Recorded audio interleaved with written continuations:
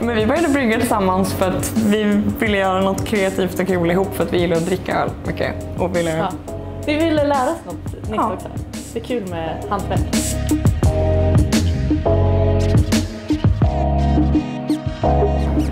Nu är vi på minus ett. Och vi är ett eh, bryggarkollektiv. Mm. Eh, Så det är åtta små bryggerier som samsas i den här gamla tvättstugan. Och så brygger man sin öl och så säljs den uppe på puben.